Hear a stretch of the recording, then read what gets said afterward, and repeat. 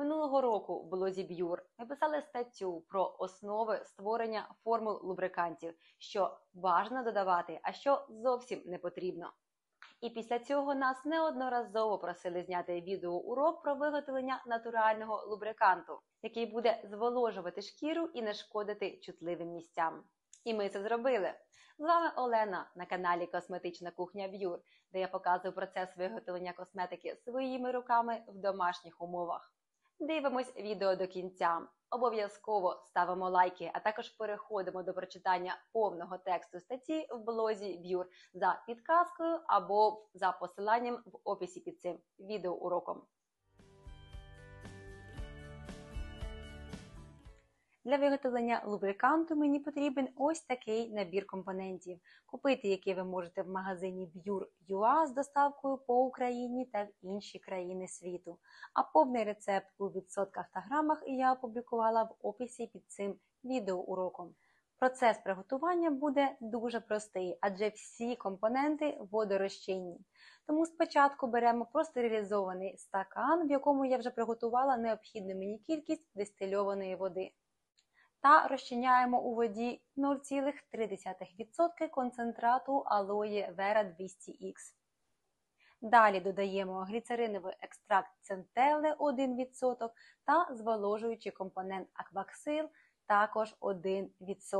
Після чого розчиняємо у воді депантенол 0,5%, який чинить заспокійливу дію, та пентилен гліколь 2% для антимікробної дії після чого гарно все розбільшуємо за допомогою міні-міксеру.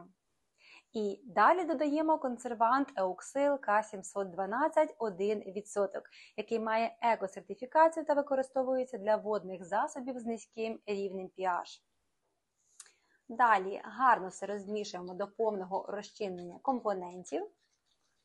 Після чого я перевірю, яка кислотність водного розчину в мене вийшла. Для чого я це роблю зараз? Тому що набагато простіше коригувати кислотність саме водного розчину, а не готового гелю. І наскільки ви пам'ятаєте, кислотність лубрикантів повинна бути низькою. Тому зараз за допомогою 40% розчину молочної кислоти я буду понижувати цю кислотність до значення приблизно 4,0-4,5. І далі, після коригування кислотності цього розчину, моя задача створити щільний прозорий гель. І для цього я буду використовувати синтетичний загусник Sepimax Zen в кількості 1,5%, який рекомендується використовувати в лубрикантах через його стабільність, здатність до легкого створення прозорих гелів, а також через протестовану переносимість вагінальним епітелієм. Повільно вмішаємо порошок у воду, далі вмикаємо міні-міксер і розмішуємо до створення гомогенного гелю. Після першої стадії розмішування з допомогою міні-міксеру можете взяти звичайну ложку та домішувати гель за допомогою неї. І, звичайно, в кінці я перевіряю рівень pH, адже це дуже важливий показник для лубриканту. Кислотність такого засобу не повинна бути вищою, ніж 4,5.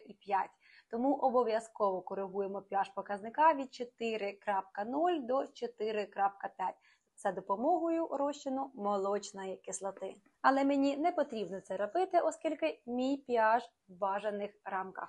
В результаті ви отримуєте ось такий готовий засіб. Це достатньо щільний гель. Хочу сказати, що спочатку засіб у вас буде весь в бульбашках та виглядати непрозорим, як ви зараз бачите на екрані. Але вже буквально через один день, коли він постоїть, зовнішній вигляд зміниться, і гель буде виглядати ось так. Набагато привабливіше.